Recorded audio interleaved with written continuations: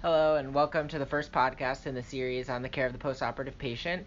My name is Mark Barry, and I'm a resident in general surgery. And I'm Dr. Kim, one of the colorectal surgeons here at UCSF and San Francisco VA.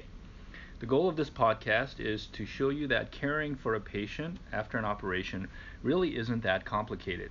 We want you to be able to take a step back and see the bigger picture before you get drowned in the details.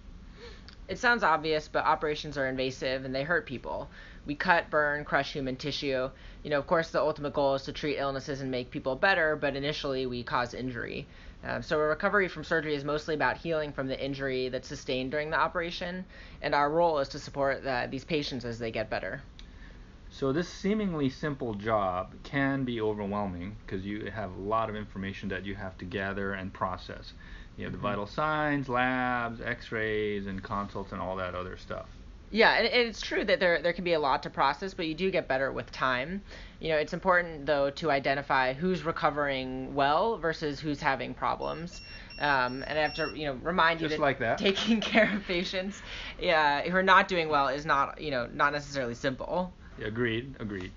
Okay, well, so to help you, we'd like to introduce two practical concepts that you can use to become a better, maybe a competent intern. Okay, so the first is idea of trajectory.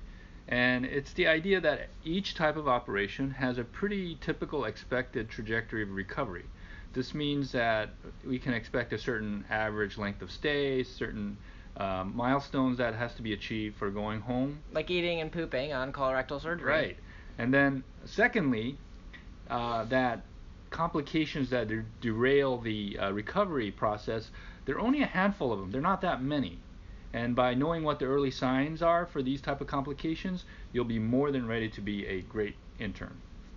Yeah, and I think I think practically speaking, when our patients complain of something like shortness of breath, our differential is much narrower um, for patients who just had an operation compared to someone who's walking into the ED or on a medical service who could have you know a number of different things going on. Um, so it does make it a little bit easier to figure out what's going on and kind of helps us develop an algorithm for evaluating these patients.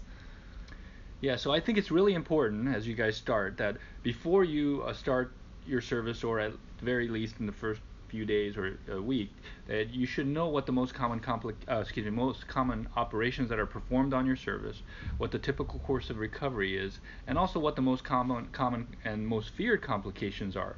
So, as an example, as an illustration, we'll talk about the colorectal surgery uh, service at Mission Bay, which Mark is on currently. So, what are the most common complica- operations do we do we do here? Yeah, so there's a there's a good variety here. We have uh, you know some laparoscopic colectomies, LARs, APRs. There's also you know open colectomies or smaller So, procedures. so then, how would you? Is there a way you categorize or, uh, these type of procedures?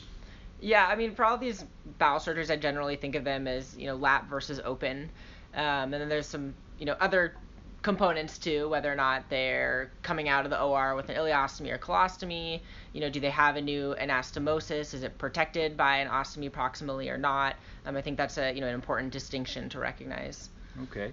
Well, so and so, what are some of the milestones that your patients have to achieve in order to be discharged, or what are you looking for?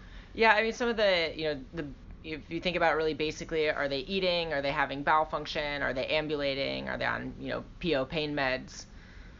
Okay, good. And what would you say some of the more common complications are? Yeah, I think, you know, one of the, the most common things we'd see, you know, post-op bowel surgery is often ileus, uh, maybe small bowel obstruction, uh, things that are a little more worrisome, or, you know, could they have a leak? Um, wound infection is fairly common. Um, you know, some other things like PE, maybe a little bit less likely in this population, or MI less likely than you might see in say, like the vascular patients who tend to be a little bit sicker going into the OR. Okay, great. So after you uh, listen to your this podcast, before we meet as a group, which we will with facilitators from your second and third year resident group, we'd like you to uh, get an idea for your specific service what kind of operations are done, what the milestones of recovery are, and what the criteria for discharge are. And who do you think is a good resource, Mark, to try to get this information when they're on the service? Yeah, I'd say definitely the your senior residents, so the you know the R two R three or chief, depending on who's available, and your your NPs as well. Right, the NPs can be a great, I think, resources as well. Anyways, uh, thanks for listening. Yeah, thank you. There'll be a few more of these coming up. Bye.